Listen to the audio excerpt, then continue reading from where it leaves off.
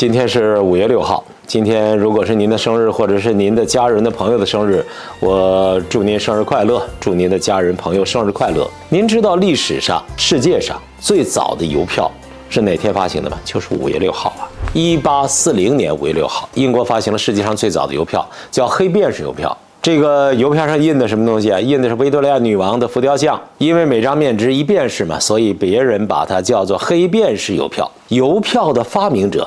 是英国教授罗兰希尔，后来这个人担任过英国的邮政大臣。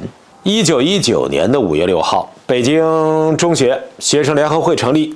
告诉各位，这个联合会成立，你知道是什么意思吗？就是五四学潮开始扩大到全国，光是大学生闹不起来的，中学生掺和，光中学生掺和也不行，要市民工人一起上街，这学潮才能弄起来。一九二二年五月六号，第一次全国劳动大会圆满结束，劳工神圣。中国共产党是工人阶级的先锋队，从一开始就是明确这一条，所以中国共产党在成立不到一年的时候，召开一个全国的劳动大会。一个社会的文明程度，主要标志在他对劳动者持什么样的态度。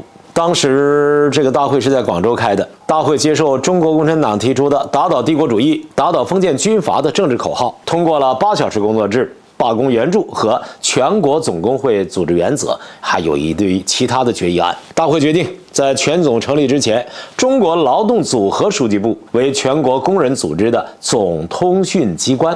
一九五零年的五月六号，咱们国家最早的民族自治县天柱自治区，这个自治区是县级的自治区，现在大概是改名了，是在这一天成立的。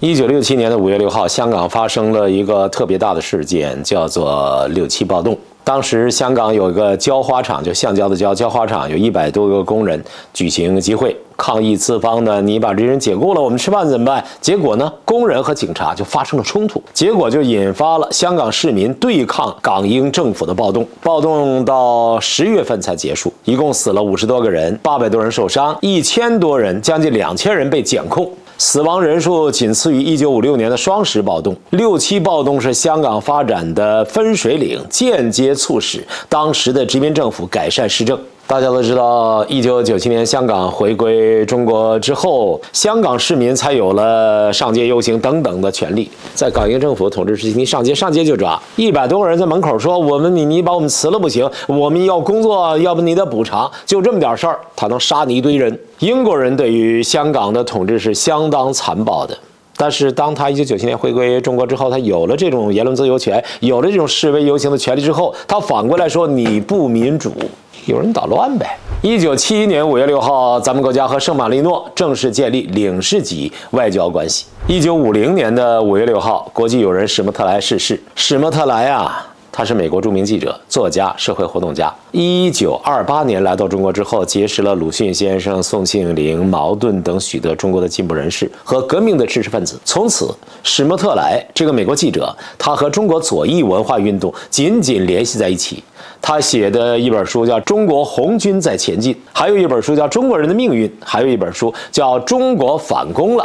另外还有一本也比较有名，叫《中国之战歌》，写过很多专著，向全世界宣传中国的革命斗争，成为不朽之作。但是他的知名度没有艾德加·斯诺的知名度更高。其实他是最早写中国工农红军的。在生命的最后二十年里，史莫特莱的全部精力投入到中国人民的革命斗争当中。一九五零年五月十一号，中华全国妇女联合会致电美国远东民主政策委员会，对史莫特莱的逝世表示哀悼。一九五一年五月六号。史莫特莱追悼会在北京举行，遵照他的遗嘱，史莫特莱的骨灰葬在了中国。一九九五年的五月六号，中共中央、国务院做出了关于加速科学技术进步的决定，提出了科教兴国的战略。当时，中央、国务院在北京召开全国科学技术大会，中央、国务院决定在全国实施科教兴国战略。这是总结历史经验和根据咱们国家现在实际情况做出的重大部署。科教兴国战略就是把科技教育进步作为经济和社会发展的强大动力，是确保国民经济持续快速健康发展、增强国际竞争力的根本性的措施。一九八二年的五月六号，邓小平会见利比里亚国家元首武装部队总司令多伊。邓小平向他介绍了中国经济建设的历史经验。他说：“我们现在呀，正一心一意搞建设，争取经济有较快的发展。现在我们的国民生产总值按人均来计算，只有二百五十到二百六十美元。”中国的人口多呀，如果国民生产总值按人口平均每人增加一百美元，国民生产总值就要增加一千亿美元。人多有人多的麻烦，很多问题不容易解决。目前，中国实行经济开放政策，争取利用国际上的资金和先进技术来帮助我们发展经济。这些政策现在已经开始有些效果。但是从发达国家取得资金和先进技术不是个容易的事情，有那么一些人还是老殖民主义者的头脑，他们企图卡住我们穷国的脖子，不愿意我们得到发展，所以我们决定。实行开放政策，另一方面仍然坚持建国以来毛泽东主席一贯倡导的自力更生为主的方针，必须在自力更生的基础上争取外援，主要靠自己艰苦奋斗。中国的经验，第一条就是自力更生为主，再就是重视发展农业。不管天下发生什么事儿，只要人民吃饱肚子，一切就好办了。搞工业呀，规模也不要太大，可以搞些小型项目。根据我们的经验，步子不能迈得太快，步子不能迈得太急。过去我们搞得太急，发生了一些错误，我们把这叫做“左”的错误，这样经济发展的速度反而慢了。现在要发展经济，还是要靠自力更生，还要靠量力而行这个原则。我们都知道邓小平理论，邓小平理论不是凭空产生的，大量的是在实践当中不断的总结提炼出来的，很多是老百姓的创造。小平同志加以肯定。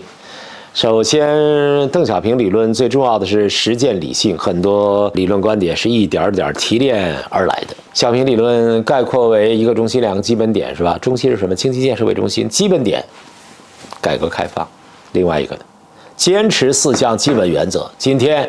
关于坚持四项基本原则讲的不够多了，但是如果把坚持四项基本原则拿掉，只剩下改革开放，告诉你，那不是邓小平理论，那是被阉割了之后的邓小平的理论。再一次祝五月六号过生日的朋友生日快乐！我是中国公民、北京市民、北京市东城区居民司马南，再见。